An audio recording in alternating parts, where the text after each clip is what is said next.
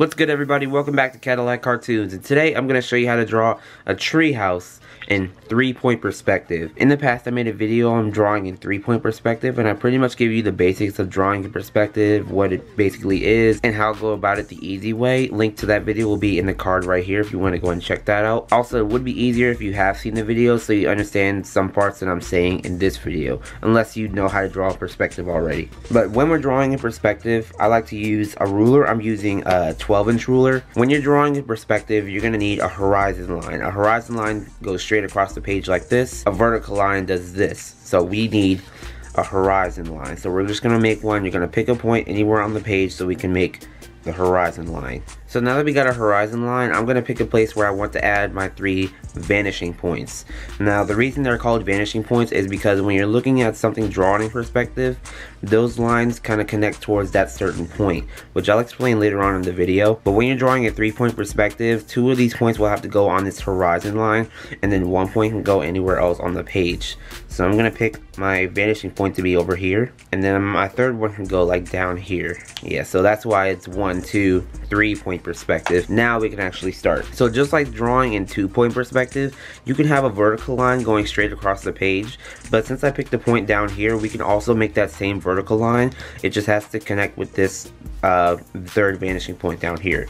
So that's pretty much okay. So it looks kind of like a T and that's, that's what it's kind of supposed to look like. And now we can actually get started with drawing the treehouse.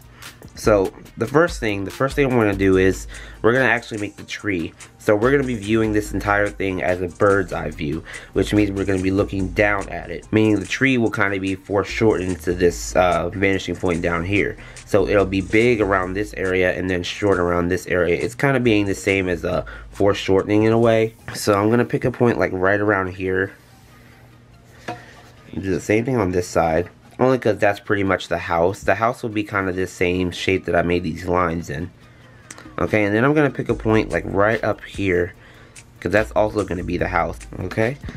And then now we're actually going to draw the base of the tree house. So again, we can connect this uh, vertical line here with our vanishing point that's over here. And do the same thing on the other side. And then we'll keep doing that until we get a base that we're going to be satisfied with.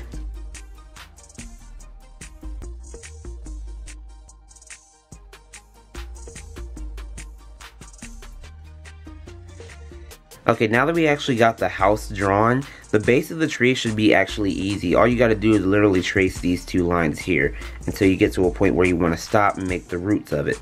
So I'm gonna pick a point like right around here. You don't need, you really don't need to do much to it.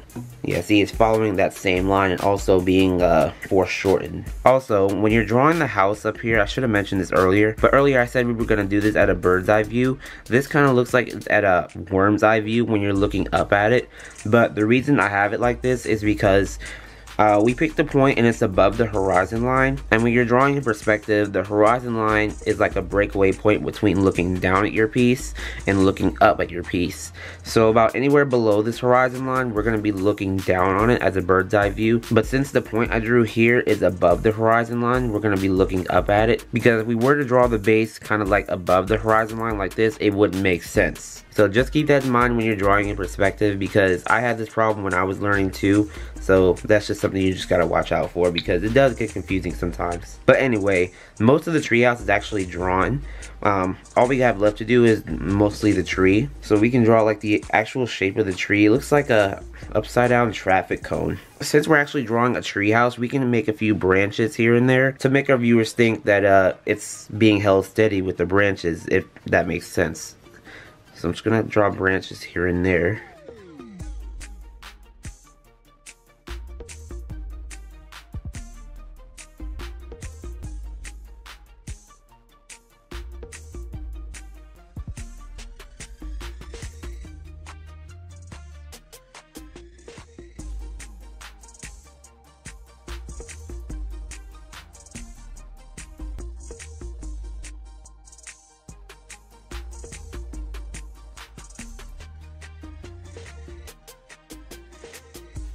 And now comes the point where we can actually draw the roots of it.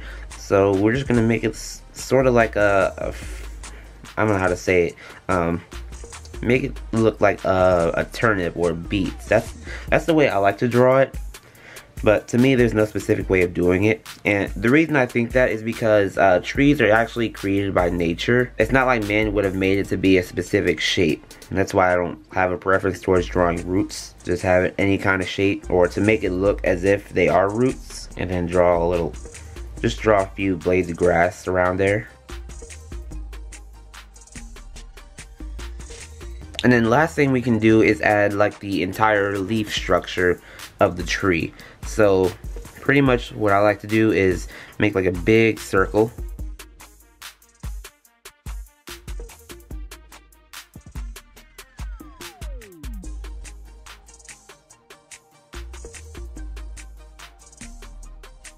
And this circle I made is pretty much the leaf structure and I can pretty much freelance it when I go to do the uh, inking process of this illustration. So it's not really much to do at this uh, sketching phase. Since we're almost finished here, what I want to do uh, now is add windows to the treehouse. And again, using the vanishing points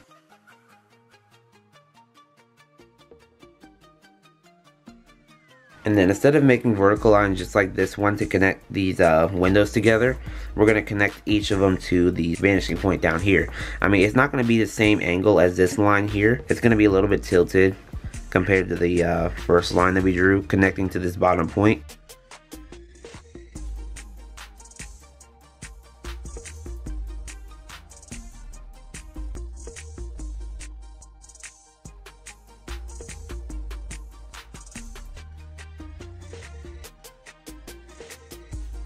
Okay, now that the treehouse is pretty much drawn, I'm to ink it and then color it so you guys can see the entire illustration finished, inked, and colored.